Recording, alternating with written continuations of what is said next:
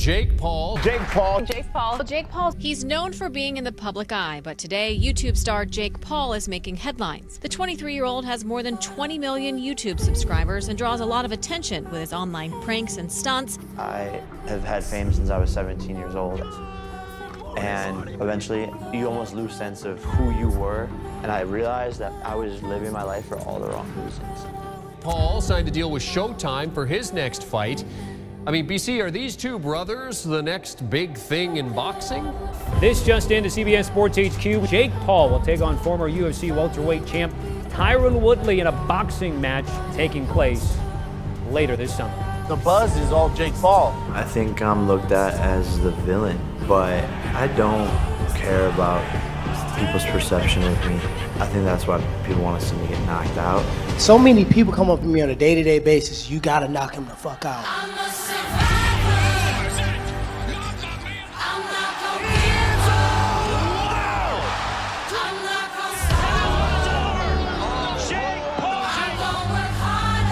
To me, the Jake thing kicked off when you're cornering Ben. Yeah.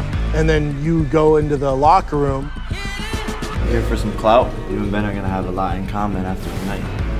Both got knocked out in the first round. Four losses in a row. And I got five world titles. You don't know about this. I got five world titles. You don't know about these, you understand? And I just looked up at him. I was like, yo, I'm about to knock your boy out in one round. He's like, we'll see. We'll see. Yeah, look, I saw I saw fear in his eyes. I saw a man who just accepted a fight mostly for a paycheck.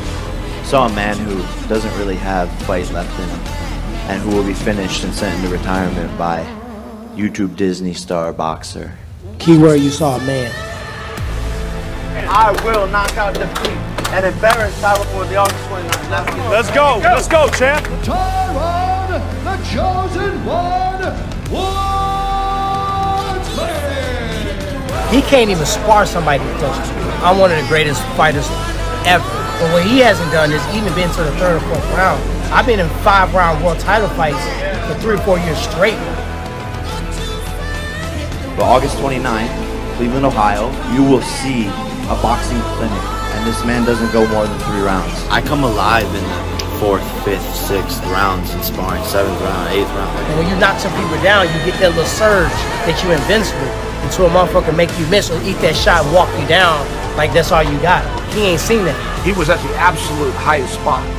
I believe he will go into the Hall of Fame, which is the greatest compliment you can get. If this narrative plays out and Jake Paul keeps on winning, this will be the greatest combat sports story in the history of ever.